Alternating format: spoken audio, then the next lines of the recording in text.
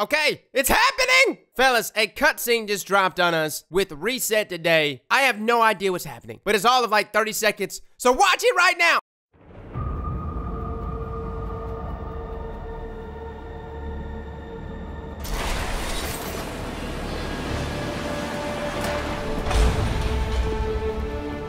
It's been a while, old man.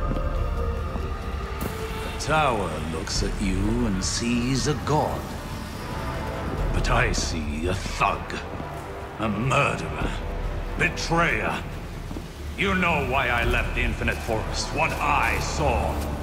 A line has been drawn in this system. Light on one side, dark on the other. Where do you stand?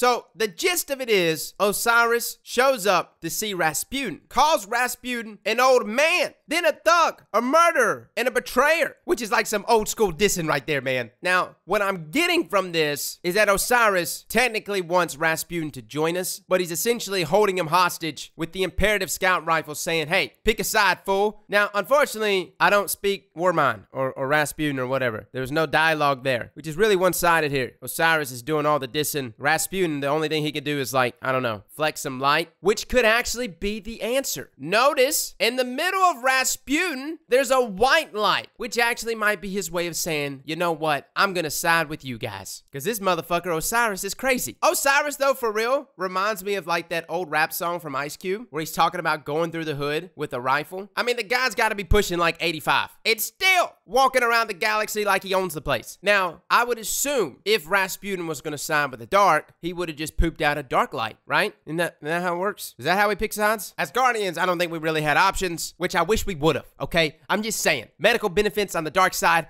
are so much better. They get paid holidays, and you kind of just understand where you stand, right? If you're on the dark side, you know you're evil. That's that's just the gist of it. Light side, I have no idea. It's all about the power of vagueness. The speaker, vague. Osiris, super vague. Just a bunch of old dudes who don't really tell you much of anything. Everybody's speaking in parables. But I think what we can conclude from this cutscene is that the next DLC will probably dabble in some way with Rasputin, the Warmind, and all the lore that flows with that, and I have no idea what that entails. Maybe a return to Mars in some way or fashion. Maybe Anna Bray will come back. Isn't the stranger supposed to be like Anna Bray's sister? That's just what I heard. I have no idea. Somebody get me Byf. But if that's the case, all of those storylines could be surfacing this coming up season. Fellas, that is the cutscene. Let me know in the comments below what you think. If you got any inside information on what Osiris is doing, how Rasputin is feeling about this, I'm very interested. Fellas and ladies, thank you all for coming and watching. And as always, slap that like button like your mama told you right.